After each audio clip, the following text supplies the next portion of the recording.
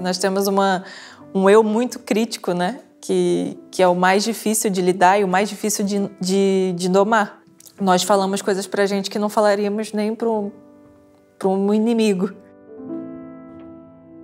Pensava, por que eu tô chorando? Eu não sei explicar. Sinto, sinto tristeza, sinto angústia, mas não, não sei explicar o motivo. Assim, tenho uma casa, tenho amigos, tenho saúde.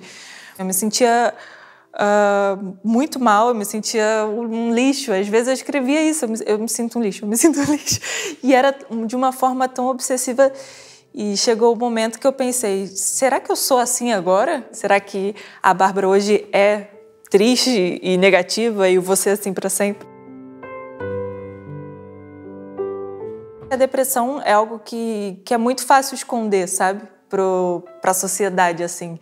É, eu sempre gostei de fazer os outros rirem, então eu acho que eu continuei com esse, com esse objetivo e ninguém reparou. Como eu sou atleta, como eu sou judoca, como eu sou uma lutadora, eu sei fazer esse papel também, mas não preciso, não preciso sempre fazer. Já cheguei na primeira consulta, eu sentei já chorando, desabando e falando o que eu sentia, o que eu pensava. E quando ele falou que tinha que tomar um remédio para mim, já foi, ai, sou maluca, não acredito. No final também foi fácil, já fiz isso, já estou fazendo há um ano, é bem tranquilo. Eu entendo que hoje a depressão é uma condição que eu tenho e vou ter durante um tempo. Talvez eu me cure, talvez não mas isso não me define. O que me define são, são as minhas ações e o que eu faço com isso, sabe? E principalmente eu tenho mais entendimento de quem eu sou e aceito.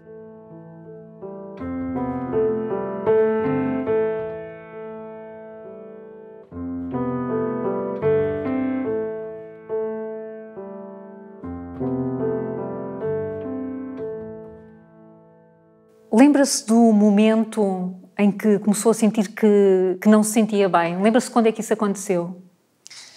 Eu lembro que foi em fases. Um, momentos que eu, que eu me sentia triste, mas eu, pens... eu sempre estudei muito comportamento humano e pensava, tá bem, pode ser uma fase. Mas essa fase durou meses. E aí chegou um momento que eu pensei, será que eu já sou triste? eu já não lembrava de uma Bárbara feliz, sabe? Ou, eu tinha uns momentos com os meus amigos, tinha uns momentos de, de alegria, sim, mas era quase não sentir emoção, ou, ou de emoção para coisa negativa. Portanto, era, era uh, no dia a dia, uh, quando, desde que acordava até que se deitava, que sentia que era triste e, sem emoção, e não tinha emoções para além da tristeza, era isso? Sim, sentia uh, pensamentos negativos, que foi algo que, que eu me fazia muito mal. Eu acho que foi. Que tipo de pensamentos?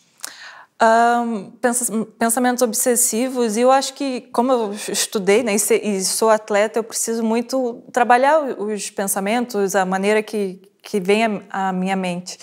E eram pensamentos que, que eu não conseguia controlar. E eu às vezes escrevia no diário escrevia no diário. Um, eram coisas muito negativas sabe? Sobre mim assim. Eu me sentia Uh, muito mal, eu me sentia um lixo. Às vezes eu escrevia isso, eu me, eu me, sinto um lixo, eu me sinto um lixo. E era de uma forma tão obsessiva. E chegou o momento que eu pensei: será que eu sou assim agora? Porque eu, eu já não conseguia ter a memória de que eu não era assim, sabe? Que eu era uma pessoa feliz ou que tinha pensamentos uh, que conseguia controlar ou, ou, tinha uma vida normal, assim. Mas eu sou um lixo porquê? Porque não faço as coisas bem, uh, porque não tenho amigos, porque não gosto de mim, porque era, era um lixo porquê? Porque era uma pessoa que não prestava, era eu, isso? Eu acho que eu sentia muito... Uh, uma das consequências da, da pandemia era as circunstâncias que me, que me rodeavam, né? Uh, toda, toda a mudança que causou a pandemia, a incerteza de, de haver jogos ou não, a mudança dos jogos, que foi adiada durante um ano. Dos Jogos Olímpicos. Os Jogos Olímpicos de Tóquio. Uh, a distância da minha família, acabou que eu fiquei dois anos sem, sem contato, sem os ver, né? E nesse, nesse tempo, é, apesar de tudo, eu sempre tentei ter o controle de mim. Só que durante seis meses, num período de seis meses, eu tive que fazer duas cirurgias. Tive lesões no, nos dois cotovelos. Então, então eh, eh, Bárbara, vamos começar. Quando, quando sente que tem essas fases em que já não sabe se é alguma coisa mais para além de ser triste. Estávamos já com a pandemia, estávamos no confinamento, e estávamos no primeiro confinamento? Sim, sim. Foi foi para agosto, eu acho que foi perto da primeira cirurgia que eu senti já uma como eu posso dizer, tipo, já, já não era eu. Eu acho que foi a partir de outubro de 2020, assim. De, que... de 2020 até lá, diria que era uma Bárbara feliz, com altos e baixos, como todos nós, Sim. mas era, era uma, eh, uma mulher completamente integrada e sem esses pensamentos obsessivos. Depois tem a lesão, é isso? A lesão chega primeiro que esses pensamentos tristes? Eu acho que a, a lesão veio depois a parte de tratar, porque como foi um ano antes dos jogos, eu não tinha o tempo suficiente para tratar, porque sempre tinha a marca dos jogos ou a primeira, a primeira competição eu fiz oito semanas após a cirurgia, então com pontos eu ainda treinava. Isso, na, na hora, eu não sinto, eu não senti, mas a gente entra no modo sobrevivência. Eu preciso fazer isso, mesmo com dor, mesmo com tudo. Só que é chega uma hora que a conta vem, né? E, e depois de competir, continuo com dor. A, a cirurgia, tipo, é um processo, não são em oito semanas que a gente recupera, às vezes são mais. E, e o estresse vem depois. Eu acho que é um pouco como a pandemia, assim, quando estava o ponto mais crítico, todo mundo sobreviveu. Uh, do jeito que deu. Só que eu vejo, às vezes, agora, após a gente saindo um pouco desse cenário, que as pessoas estão sentindo mais ansiedade, mais de não saber o que está acontecendo. E eu acho que foi isso que aconteceu comigo, assim. Foi, foi uma espécie de uma ressaca. Aguentou? Aguentei no modo sobrevivência. Viu os Jogos Olímpicos uh, serem adiados, tem uma lesão, tem uma Sim. cirurgia, tenta dar tudo e depois tem essa, tem essa tristeza. Isso mudou o seu dia a dia? Essa tristeza fez com que, por exemplo, deixasse de sair, deixasse de conseguir uh, estar com amigos, uh, de Sim, conversar? Eu acho que eu me fechei mais, sem dúvida, mas uh, o meu meio é muito. Minha, minha, rotina é muito de não sair também. Então eu tenho meus amigos fechados que, que eu já os via todo dia. Mas eu acho que a depressão é algo que, que é muito fácil esconder, sabe? Para a sociedade, assim. É, eu sempre gostei de fazer os outros rirem, então eu acho que eu continuei com esse, com esse objetivo e ninguém reparou. mas mas é, é o que eu... era uma Bárbara triste que fazia os outros rir. É, eu acho que era para esconder o que eu sentia, assim. Ou então eu tentava cumprir o papel na sociedade que estava tudo bem, mas por dentro estava destruída. estava destruída. O diário, tem um diário, foi ele o seu confidente, foi só com o diário que ia contando que tinha essas, esses momentos de, de tristeza tão profunda? Sim, Sim, no momento sim. Na, naquele momento era só o diário. Mesmo tendo, fazendo terapia e tudo mais, eu, eu, eu ainda tinha um estigma, um preconceito muito grande, ou então não sabia mesmo o que eu, o que eu tinha. Então eu não conseguia uh, dizer realmente o que eu pensava de mim, hum. que, eu, Quanto... que era muito negativo. E eu passava, não é possível, não, não tenho nem coragem de dizer isso a outra pessoa, sabe? É, era uma falta de respeito tão grande comigo e eu ficava imaginando, não consigo nem expressar isso em palavras, o que eu sinto por mim. Sim. Quanto tempo é que demorou uh, a perceber que estava triste e a escrever no diário e, e, e, a ter essa interrogação: quem é que eu sou? Deixei de ser a pessoa alegre para ser a pessoa triste. Quanto tempo é que guardou isso só para si? Então, aí, outubro de 2020, fiz a, a a cirurgia do cotovelo esquerdo, e passou o ano e tudo mais. E aí, em fevereiro de 2021, eu lesiono o, o cotovelo direito. Aí, pronto, a chave aqui mudou totalmente. E eu me pegava chorando muito, assim, me pegava... Eu, disciplina nunca foi o, um problema, eu sempre estava no treino, mas estava sem vontade, um, sem dar aquele a mais que eu acho que os atletas de alto rendimento precisam, né? Dar um pouco mais de intensidade. Então essa parte me faltava um pouco. Eu estava ali fazer o, fazer o, o que estava escrito, só, só para me manter em movimento. Fazia os mínimos. Os mínimos, é. Só que quando eu ia para casa, às vezes eu entrava no carro e tinha crises de choro. E não sabia por quê. Às vezes, do nada, eu me via chorando e, e pensava, por que, eu estou chorando? Eu não sei explicar. Assim, sinto tristeza, sinto angústia, mas não, não sei explicar o motivo. Assim, tô triste, tô muito triste, mas ao mesmo tempo é uma luta porque eu pensava, eu sou atleta, eu tenho que ser forte, eu tenho que eu tenho que mostrar, sabe? Assim, eu, tô, eu não tenho razões para estar tá triste, né? Como às vezes muitas pessoas pensam, assim, tenho uma casa, tenho amigos, tenho saúde, mas enfim, acontece, pode acontecer com qualquer um. E aí na minha segunda cirurgia, quando eu saí do, do da clínica mesmo, do, do hospital, eu tive uma crise assim que eu pensei não vai dar, chega. Era faltavam quatro meses para os Jogos Olímpicos. Eu falei não quero sofrer, tô, tô enlouquecendo. Eu falei, vou marcar um psiquiatra, porque não, não é possível, assim, vou ver, vou ver. Eu não sabia o que eu tinha, mas eu queria saber da opinião dele, né, de um especialista, para dizer se é, se é normal viver assim ou se eu tenho alguma alteração em mim. Hum. Uh, esses, esses, momentos em que chorava, em que explodia, que desabafava, passou-os sempre sozinha, nunca, foi pé, nunca, nunca tive nada disto perto de ninguém.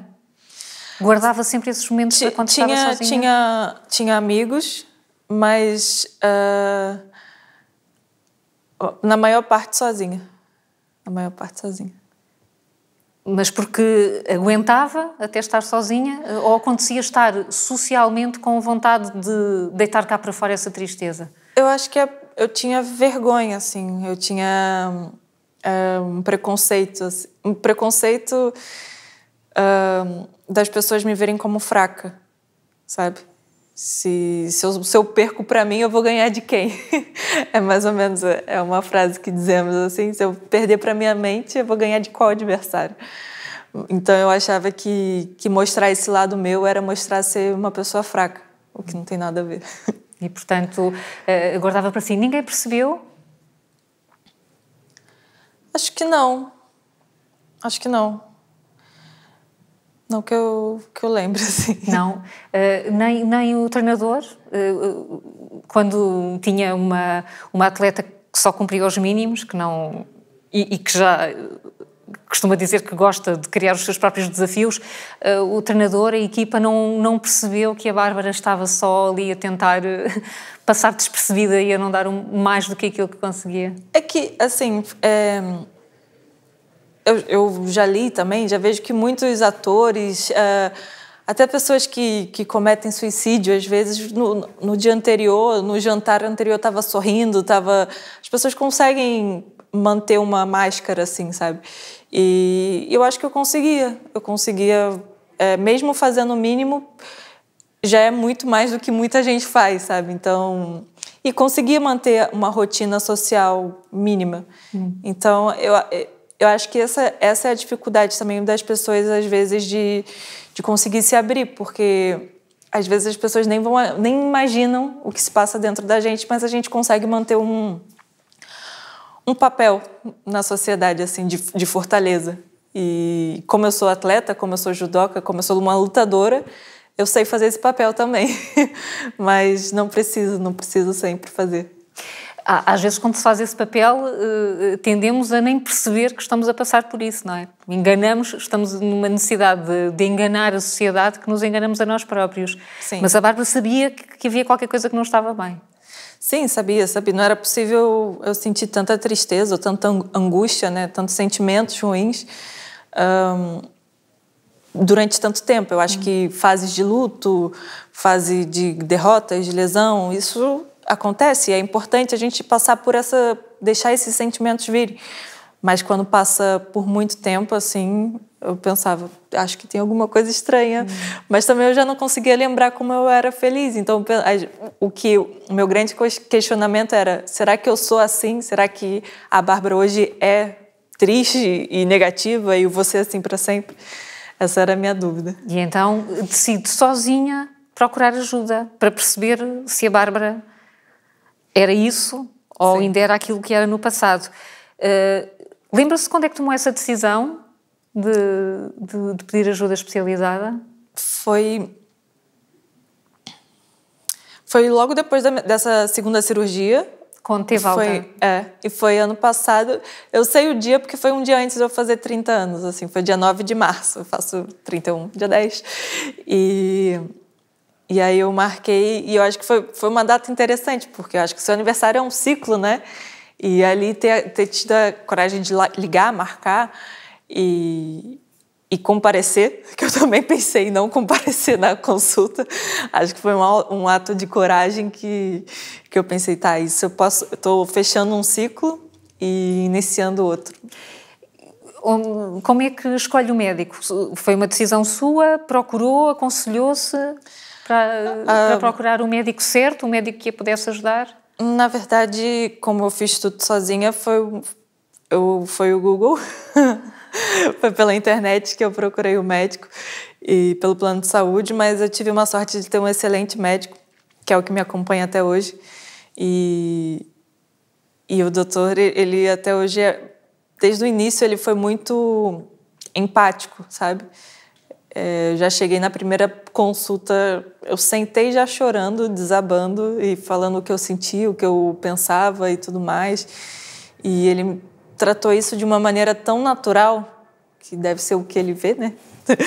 Sempre, é, que, que eu não me senti mais estranha, sabe? Ele falou: ah, isso acontece, é, dadas as características, as circunstâncias da tua vida, tem, tem sintomas de depressão, é, vai ter que tomar um remédio. E quando ele falou que tinha que tomar um remédio, para mim já foi: ai, sou maluca, não acredito. e e aí eu perguntei, eu vou ficar maluca com esse remédio? Ele falou, não, é, muito tranquilo e tudo mais, mas o, os, é um remédio a longo prazo, só vai ver a partir, acho que da sexta semana, que vê uma melhora, um resultado. E, e é um tratamento. Hum. E pronto. Portanto, a, a Bárbara vai para uma consulta destas com os preconceitos todos que existem. Todo, desde... Quem vai para uma consulta destas é porque se calhar é maluca. Tinha, é. tinha os preconceitos todos quando lá chegou. Não, desde, desde. Eu lembro que eu pensei em desistir mesmo da consulta. Eu falei, ah, no dia eu falei, ah, acho que eu não preciso disso. Por quê? Uh, tinha medo de quê?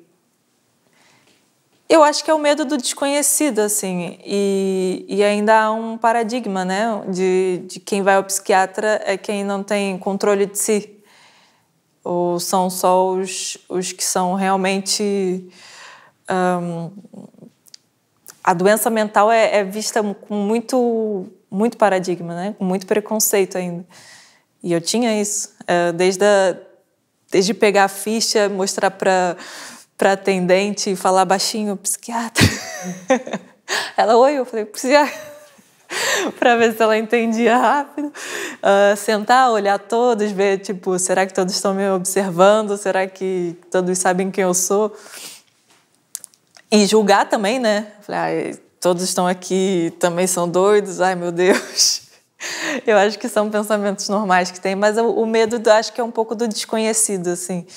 E... Oh, eu tinha medo de ouvir alguma coisa que não estava preparada, tinha medo que o médico lhe dissesse alguma coisa que, que pusesse em causa a imagem que tinha de si própria, dessa atleta que tem que ter segurança e que é forte.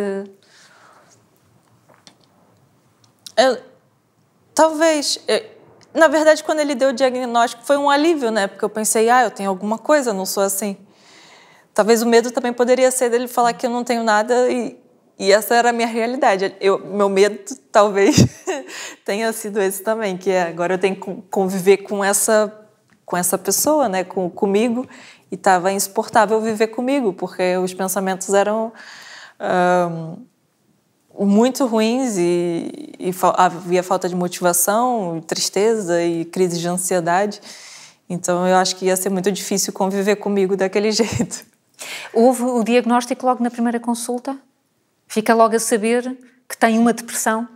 Sim, sim. Falei, falei o que eu sentia, falei dos pensamentos, falei da, do, do que aconteceu na, na minha vida nesse ano nesses dois anos, né? E na primeira consulta ele ele diagnosticou, diagnosticou como depressão e indicou uns remédios. E, portanto, diz que o que sentiu foi quase um alívio, porque afinal eu tenho uma doença, eu não sou eu não vou ser sempre assim, não vou continuar a ser assim Sim. esta pessoa tão triste. Sim, foi um alívio primeiro e foi muito fácil, sabe? Fácil. Depois que aconteceu, é daquelas coisas que falam, ah, é isso? Pensei que era mais difícil. ah, tá. Porque o, o médico foi muito... Uh, foi muito receptivo, assim, ele foi muito empático e, e, acho que isso também faz a diferença, né? De, de a pessoa que está ali entender a sua dor e diagnosticar de uma forma natural, assim. É muito importante também o papel do médico, como passar isso. E eu saí de lá e falei, ah, tá, ok. Mas aí vem a fase 2, que é ter a receita e a farmácia, né? Isso também eu demorei um pouquinho. Então, o que que acontece? Tem um papel com a receita e vai ter que tomar uma medicação. Sim. Aí na farmácia, a máscara ajuda muito, que assim, a gente pensa que está escondida no mundo, né? Só os olhinhos assim, a gente põe um capuz e pensa, tá, vou comprar um remédio de maluco, ok?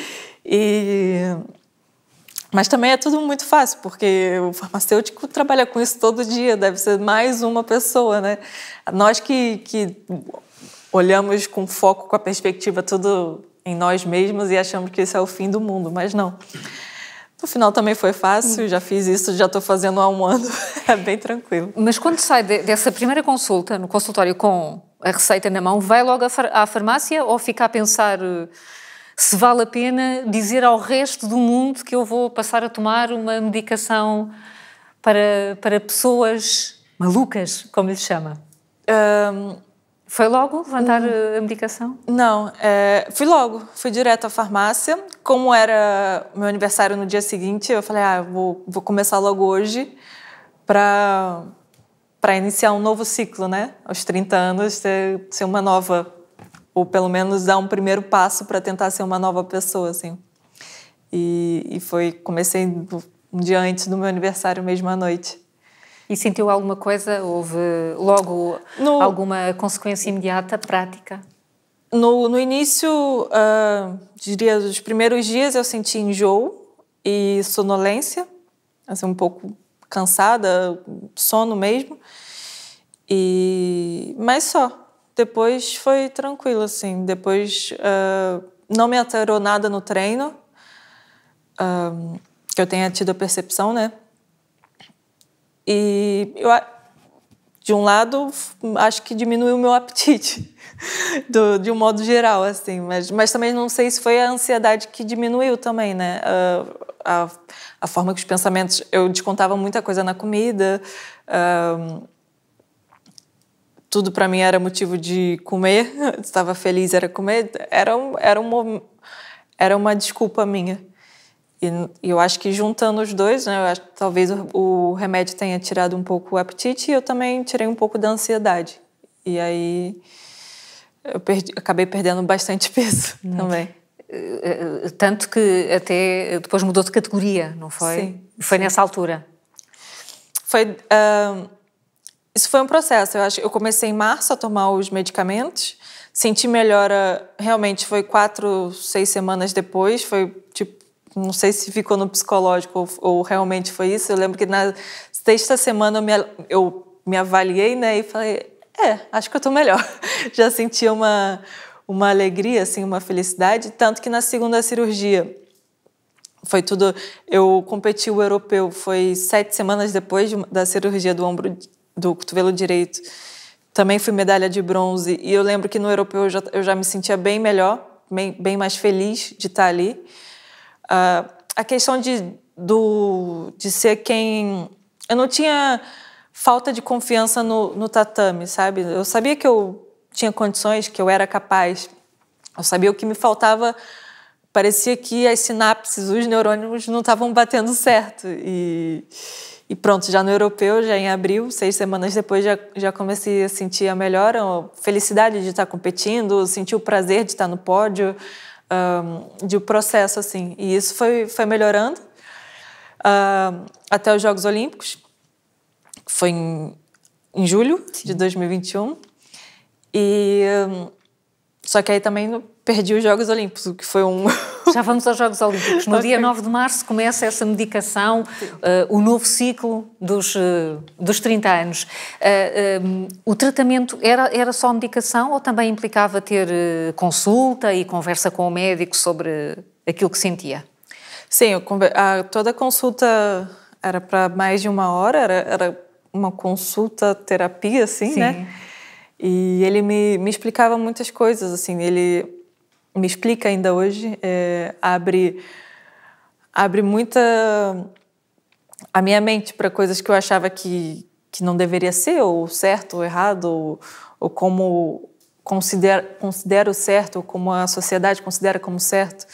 E ele sempre abriu a minha cabeça para seguir o que eu, o que eu acredito, o que eu, o que eu sou, eu acho, e o que me faz bem. Portanto, o seu, o seu processo de reequilíbrio tinha a ver com medicação, mas também tinha a ver com questionar uh, aquilo que sentia e a forma como olhava para a sociedade e a sociedade para si e a pressão que sentia de, uh, por parte da sociedade. Havia aqui uma conjugação de dois. É, ninguém me pressionava, né? Eu que achava que a pressão. ninguém falava nada, mas eu que imaginava que eu tinha que passar uma imagem de força e, e ser fraca era, era o sinônimo. E ter depressão era sinônimo de ser fraca ou, ou ou não ter força, ou, ou ser frágil, sabe? Mas sim, eu sou frágil. Tem momentos que eu sou fraca, tem momentos que eu tenho medo. Eu acho que a grande diferença hoje é isso, que eu, que eu aceito os meus dois lados, assim. Um, quando é que conta que está a fazer um tratamento deste género? Uh, a quem é que conta em primeiro lugar? Uh, e depois como é que isso se, se, reflete na forma como, por exemplo, treina e, na, e, e juntamente com, com a sua equipa, como é que isso se reflete? Antes dos jogos eu contei ao médico. Só pra... antes dos jogos, só antes de julho, portanto já é. com dois meses, dois, três meses de contei tratamento. Contei ao médico do comitê, porque nós temos que dizer todos os remédios que tom tomamos, né? E não era doping, não é doping os remédios que eu tomo, mas precisa estar tá descrito. E ele também me apoiou e, e, ele falou: Olha, você não tem noção quantos atletas são, tem, tem depressão e tomam remédio, só que isso ainda é um estigma e, tipo, tá tudo bem. Ele, eu falei: Ai, é fácil assim? Tá, sabe? É uma coisa ainda muito fechada. E lutei os jogos sem contar para ninguém. Depois que dos jogos. Nem, nem para a família, não contou à família. Porque não, não quis preocupar. É, eu acho que a distância, assim, e, e não queria principalmente que me tratassem diferente, sabe? Como eu achava que, que os outros iam me ver como frágil, eu não queria que de forma nenhuma me tratassem diferente por causa dessa condição. Então a minha decisão foi, foi manter a, a máscara. Mas também eu já estava me sentindo melhor. Mas de, quando, quando eu perco jogos, volto para o Brasil, passo as férias lá e conto para minha família, eles agem de uma forma muito natural, assim, com, com muita receptividade e amor, né? E, e mais uma vez tomo um tapa na cara e penso, ah, não é tão difícil assim. Tive a sorte também de ter uma família que me apoia e entende. E, e se eles apoiaram e se eles, se eles lidaram isso, com isso da melhor maneira possível, depois eu me senti mais à vontade para contar para todos. Portanto, estava muito na sua cabeça, não é? O monstro estava na sua cabeça, ninguém à sua volta uh, estava a julgar. Ninguém. É, eu acho que é muito isso, né, que nós, que nós pensamos assim. Nós temos uma, um eu muito crítico, né, que, que é o mais difícil de lidar e o mais difícil de, de, de domar. E a gente pensa muito como ter aquela voz de, do que a gente faz errado ou que também precisamos fazer melhor e mais. E essa parte crítica é muito dura. E, e eu imaginava que, que seriam duro, duros comigo, imaginavam que, que teriam preconceitos ou então que eu não ia ser bem recebida. E não foi, absolutamente ao contrário. Eu estava a falar dos jogos. Uh, os jogos não correram bem. Uhum. Uh, isso abalou-a de alguma forma? Ah, completamente. Porque eu mudei a vida, né? Uh, nasci no Brasil, vim para cá, uh, conquistei a vaga em um ano e meio, fui vice-campeã do mundo em 2019, supostamente um ano antes dos Jogos, mas acabou sendo dois anos após. Então, não, de, de alguma incerteza, eu sabia que tinha capacidade, pelos meus resultados, de ter um bom resultado. E chegar lá, um, senti que, que eu apanhei mesmo doeu muito, né? Eu perdi, perdi mesmo, não tenho o que dizer, a, atleta foi melhor. E, e, isso me doeu muito, porque eu pensava, eu não eu não dou a minha vida, não, não faço tanto para ter uma derrota assim, sabe? E isso me custou muito, custou muito. E, e custou tanto que eu não tinha mais motivação de voltar. Eu já estava decidida a não voltar para o próximo ciclo. Mas aí que bom que eu tive a ideia de descer de categoria e pensei, ah, essa é uma nova história que eu posso fazer. Gosto de novos desafios, acho que é isso que me motiva. Já são muitos anos no judo, né? Comecei aos oito anos, já são vinte e poucos anos e eu acho que eu preciso dessa de encontrar caminhos novos assim dentro, já que eu que eu posso e tenho a oportunidade de fazer mais um ciclo, quero encontrar novos caminhos. Essa, essa derrota eh, sente que fez regredir o seu tratamento? Ou o facto de ter encontrado logo um desafio novo é a prova de que, ehm, de, de que, de que eh, as consultas e o, e o, trabalho psiquiátrico que está a fazer a ajudou a encontrar formas de dar a volta a uma situação de crise? Eu não vejo muito como uma regressão, assim, mas eu vejo. É uma condição que eu tenho hoje, mas o, o coisas que eu tenho certas para mim aqui, eu posso, eu sou capaz de superar e, e, que existem altos e baixos, assim, tem, tem dias bons e dias menos bons, fases boas e fases menos boas. E uma derrota como como os Jogos Olímpicos, não sei como quem não acompanha pode levar, mas é, é como se fosse o trabalho de uma vida jogado fora, pelo menos no, no início, né? Quando você tem a derrota, você pensa, eu joguei tudo no lixo. Foram quatro anos, nem quatro anos, é uma vida toda de trabalho para isso, para nada. Só depois que você vai assimilando, vai, vai percebendo que, que o que vale foi o processo, vale foi, foi a experiência, que ser atleta olímpico é algo muito grandioso, assim, poucos conseguem. Aí que vai, vai entrando essa parte do, de se valorizar também e saber o, o quanto eu já conquistei. Mas no início é realmente um, um, um luto do, do teu trabalho, assim. Parece que o seu trabalho foi todo em vão.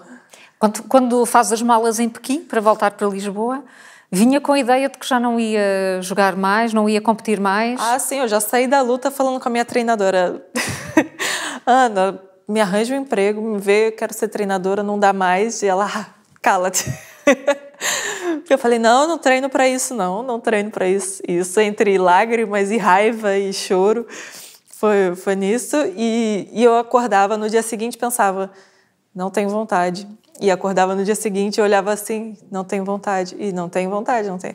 E foi assim, fui para o Brasil de férias e, e, sem vontade, sem Comunicou vontade. Comunicou à família, nunca mais volta entrar no tatame? Não, quando eu cheguei, eu falei: ah, por favor, não vamos falar sobre os Jogos Olímpicos. Foi uma experiência, vocês viram que foi, tá tudo bem. Depois, quando eu, quando eu tiver bem, eu, eu falo. Tanto que nas primeiras semanas lá, eu não encontrei com ninguém, só fiquei com a minha família, nós, nós ficamos fechados mesmo.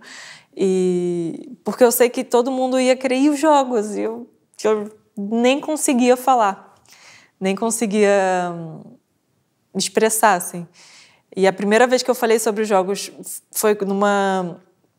Antes de, voltar para cá, uma academia me chamou para visitá-los, para mostrar e tudo mais. E eu, tá, eu vou porque é minha amiga, que é professora, eu vou pela, pela amizade, né? E quando chegou lá, as crianças, tipo, prepararam uma festa para mim, cartazes, desenhos, no Brasil, sabe?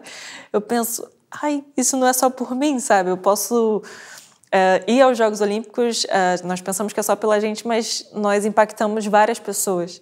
E é também por isso que eu estou aqui, porque eu acho que a minha voz pode, pode mudar a vida de alguém. E é ali que eu, que eu senti que eu consegui falar dos Jogos, e eu falei para eles: é a primeira vez que eu estou falando dos Jogos Olímpicos, todo mundo olhou assim, tipo, como assim? Você foi aos Jogos? Eu falei. É, tá. Aí foi que o processo de eu começar a me valorizar e a valorizar essa história também que eu tenho. Porque isto, estes Jogos Olímpicos, os Jogos Olímpicos do ano passado, foram marcados por muitos atletas a terem este tipo de, de, reação no fim. Houve muita emoção, houve muitas lágrimas, como provavelmente em nenhum outros jogos. O que é que aconteceu? Acha que a, que a pandemia abalou mesmo um, a preparação destes atletas, não é? que estão uma vida inteira a, planear ir a uns jogos que não foram no ano, foram no seguinte, e depois tudo parecia desabar? O que é que se passou nestes jogos? Não foi só consigo, pois não? Uh, assim, eu só fui a uns jogos, né? O que eu posso dizer foram das pessoas que foram a, a outros jogos. Uh, foram várias componentes. Eu acho que esse um ano a mais faz completamente diferença na, na atletas de alto rendimento. Por exemplo, eu fiz duas cirurgias nesse ano a mais. Se fosse em 2020, eu teria feito jogos sem cirurgia. Outras pessoas tiveram lesões. Outras pessoas não conseguiram você manter mais um ano com, em alto rendimento é difícil. Então, às vezes, os mais novos passaram, aqueles que em 2020 iriam para os jogos. Teve, é como se as cartas fossem baralhadas e jogadas novamente. Assim, teve muita mudança. E, além disso, é, fazer todos os jogos num cenário fechado, nós ficávamos trancados na, na vila. Eu acho que a gente não conseguia muito extravasar as emoções, porque pela comparação, né, que as pessoas falavam, uh, jogos normalmente você tem é, a entrosamento com as outras equipes, com os outros países, uh, você vai assistir jogos do, do, futebol, vai assistir jogos de natação, vai assistir outras coisas, até para distrair um pouco a, sua mente. Vai conhecer a cidade, que também. Uh, Tóquio é uma cidade maravilhosa, então a gente não conseguia muito extravasar. Então, era só focado ali, não podíamos ir para outro prédio, não podíamos. Até o, a alimentação era. Nós comíamos numa cabinezinha assim, sabe? Então não tinha muito como essa parte que é normal de Jogos Olímpicos, que é também uma festa, né? Então é, é eu acho, acredito que essa pressão ficou ficou fervilhando ali numa panela de pressão e muita gente estourou. Está quase há um ano a fazer tratamento. Como é que está a Bárbara hoje? Um, hoje eu acho que é uma Bárbara. Eu me vejo muito mais segura, mas principalmente eu tenho mais entendimento de quem eu sou e aceito. Se tem uma palavra que eu posso dizer, hoje eu aceito muito mais quem eu sou. Na forma que eu entendo que, que não é uma condição que me define. Eu entendo que hoje a depressão é uma condição que eu tenho e vou ter durante um tempo. Talvez eu me cure, talvez não mas isso não me define. O que me define são, são as minhas ações. E o que eu faço com isso, sabe? Isso saber isso me dá um empoderamento assim que eu posso ter um controle da minha vida. E posso fazer e posso ter sucesso como como tive. Ganhei um, um grande slam estou uh, treinando em alto nível e tudo mais. É, é, é saber que, que mesmo com isso isso é, mesmo com essa condição isso não me define então, uh, quer dizer que agora permite-se ter momentos de tristeza?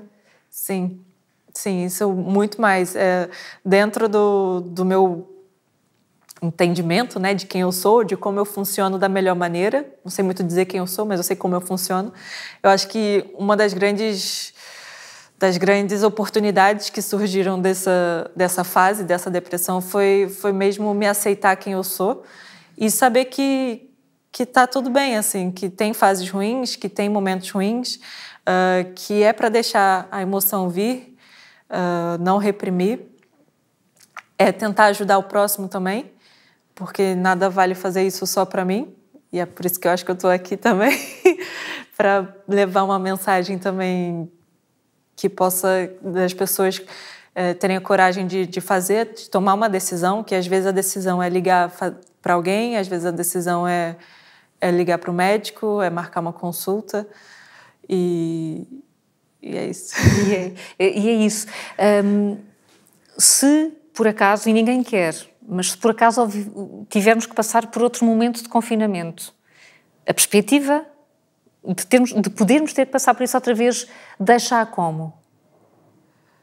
Um, Acha, acha que, pode, que isso lhe pode dar um clique negativo? Que isso, que isso a possa afetar outra vez de uma forma muito, muito dura e muito profunda? Eu acho que, que assim, é, eu tenho hoje, consigo ter sinais de alerta, assim. Eu, eu aceito dias bons, dias ruins, mas, mas tento é, ter o melhor de mim, assim, ter comportamentos que tragam o melhor de mim, sabe? Um, deixo a tristeza vir, mas não deixo que ela... Tento não deixar que fique muito tempo, só o tempo suficiente hum. que eu acho necessário. Às o vezes, que, é que são sinais de alerta? Um, desmotivação, é, de sentir muito desmotivada, um, uh, sentir um, pensamentos negativos. Uma, os pensamentos vêm, isso é algo que vai vir sempre. Mas eu, como atleta, tenho várias ferramentas para poder levar para o pensamento positivo, para poder cortar, para poder entender por que sinto assim. Mas chega uma hora que eles começam, parece gremlins, e vão dominando a sua cabeça. E, e, quando chega essa hora, eu falo, não, tem alguma coisa acontecendo. E, sem dúvida, é, a psicoterapia, continuo o tratamento com psicólogo, tratamento com médico, e hoje ter uma, uma, uma rede de apoio muito mais. Eu me sinto muito mais confortável em falar com, com os meus amigos. E, e eu acho que isso vai fazer a diferença. Eu não busco. Eu não. Provavelmente pode, pode acontecer novamente de eu ter outra fase ruim, assim, mas isso já não me causa medo, porque eu sei que eu posso, sou capaz de, de superar e, e sou capaz de, de recompensar quantas vezes for necessário. Hum. Por, por, exemplo, quando acorda, já percebe se vai ter um dia com esses pensamentos gremlins ou, ou eles podem surgir num momento qualquer? Eu acho que muito tem a ver com, com a nossa, com a minha, com os meus hábitos. Um, parece clichê assim, mas quando eu tenho hábitos saudáveis de, de tentar dormir ou melhor, me alimentar melhor, uh, fazer o treino como deve ser feito, ter uma vida saudável é, me, me coloca em um estado mais saudável mentalmente também. E ao mesmo tempo, ao contrário, às vezes um, ter uma rotina de alimentação ruim, de hábitos ruins, de, de sono totalmente desregulado, isso altera completamente a, a minha forma de ser. Eu acho que a minha e de, de todas as pessoas. E, e isso se traduz em, às vezes, desmotivação, uh, preguiça, e a preguiça leva a pensamentos negativos. Eu me cobro muito, não, deix, não deixei de ser exigente comigo, né? E, e isso, quando, quando tem hábitos não saudáveis, claro que eu não tenho forças para fazer, então vai virando uma bola de neve. Então, hoje, não só pelo rendimento, não só pelo judo, para ganhar medalha, eu, eu acredito que ter hábitos saudáveis são, é bom para a minha paz de espírito também. E, portanto, tem, tem controle agora, tem estratégias para controlar tem estratégias quando os sinais controlar. de alerta aparecem. Sim. Às vezes saio, às vezes volto, não sou 100%, mas, mas eu consigo manter ali, bem. Quando olha para trás, o que é que vê e o que é que diria à Bárbara triste, aquela Bárbara de há, de há mais de um ano? Um, Primeiro, acho que eu daria um abraço nela e, e dizer que está tudo bem. E diria muito para que é, é um caminho de, de autocuidado e respeito, sabe? Às vezes a gente quer, quer logo ter amor próprio, ou ter a, a aceitação e tudo mais, mas o primeiro passo é de se respeitar. Às vezes nós respeitamos mais o outro do que a nós mesmos.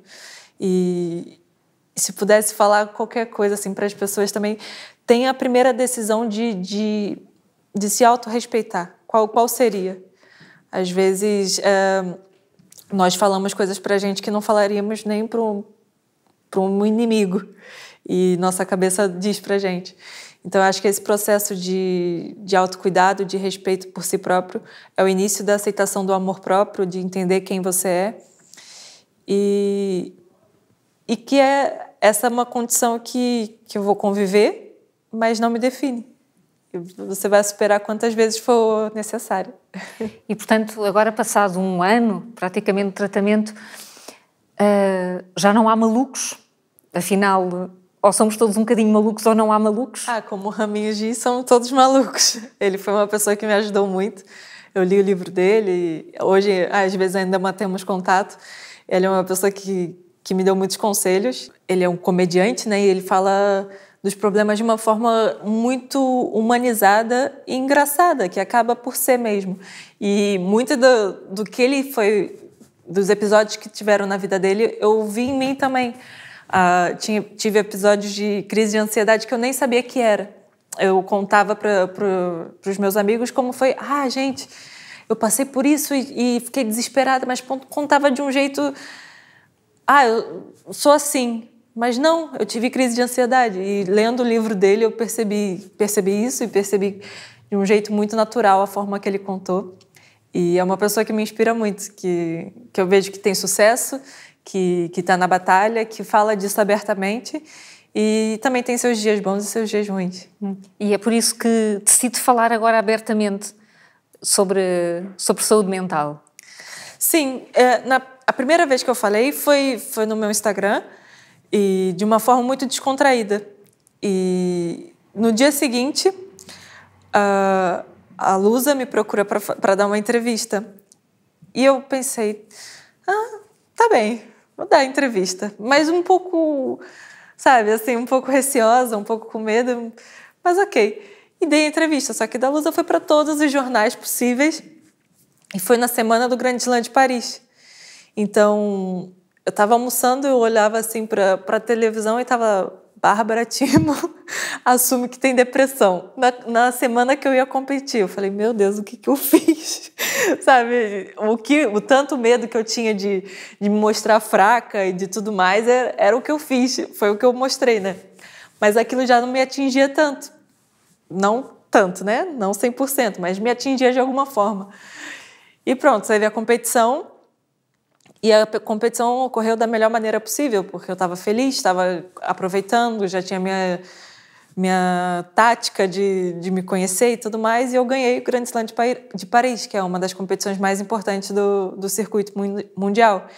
Então, as, as entrevistas foi Bárbara que assumiu a depressão, ganha, supera. Eu falei, ah, pelo menos ficou legal, né? E aí surge mais novas, é, novas entrevistas, e não foi fácil no começo, assim, porque é, não é fácil falar sobre isso, né? Abrir um lado meu que, que eu ainda tenho dificuldade de entender e de, e de falar, mas eu comecei a ter mais força quando tive pessoas próximas.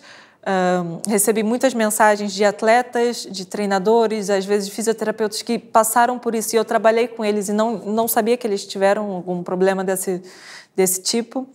Depois, jornalistas também, que muitos que, que me chamavam eram que também tiveram algum, alguma coisa. E no início, um, uma das primeiras entrevistas que eu, que eu dei foi foi daí que eu tirei essa frase foi é o que você pode mostrar é que que é possível tomar remédio ter depressão e ter sucesso então o que você faz é muito importante para muitas pessoas. Então ali eu senti uma responsabilidade. E de lá, de outubro do ano passado até, até hoje, é, tenho recebido histórias inspiradoras e, e, pessoas que se inspiram em mim. Então eu vejo, ai meu Deus, é muita responsabilidade. Então eu tento usar a minha voz, uh, não por mim, mas pelas pessoas que possam eu possa ajudar ou que possa tomar um pouquinho de coragem para tomar uma decisão e fazer uma ação pelo próprio bem. E, e, e uh, dar coragem às pessoas uh, é fazer. Uh, é, é, permitir que elas façam o quê? Num, momento de sofrimento destes, o que é que é o ato de coragem? Isso depende muito de cada, de cada situação que todo, cada um está passando, né? Mas eu acho que é uma decisão. A primeira ação vem de uma decisão. E às vezes a decisão, para uns, pode ser levantar da cama. É, isso pode ser uma decisão. Tão vezes, simples quanto isso. Tão simples quanto isso e tão difícil quanto isso. Requer coragem. Às vezes a decisão pode ser tomar um banho. Tem pessoas que não, não têm força, né? Às vezes a decisão é ligar para Saúde 24, é, ligar para algum amigo e marcar uma consulta, alguma coisa assim. É, procurar ajuda não sei, até aplicativos hoje. Hoje a pandemia trouxe essas ferramentas tecnológicas, né? tão grandes, mas cada um sabe eu acredito que cada um tem a noção do que é dar o primeiro passo. E isso é, é uma decisão que requer coragem, e depois que der o primeiro passo, você vai ver que, ah, é isso, ok. Depois que der o primeiro, fica um pouquinho no primeiro passo, é uma vitória, tipo, se orgulhe disso, dá mais um passo. E vai ver, se orgulha, uh, tenha prazer disso, do processo, e dá mais um passo, mais um passo. Às vezes volta dois, mas aí depois já sobe três, e é assim. Acho que é assim com tudo. Muito obrigada. Ah, obrigada. obrigada.